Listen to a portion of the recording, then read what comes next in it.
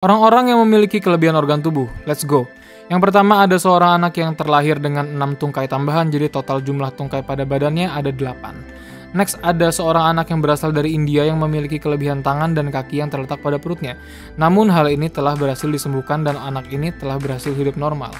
Next ada seorang anak yang berasal dari Mesir yang memiliki kembar siam yang melekat pada kepalanya yang berlaku sebagai parasit bagi kepalanya sendiri. Namun pada akhirnya kembar siamnya ini berhasil dilepaskan.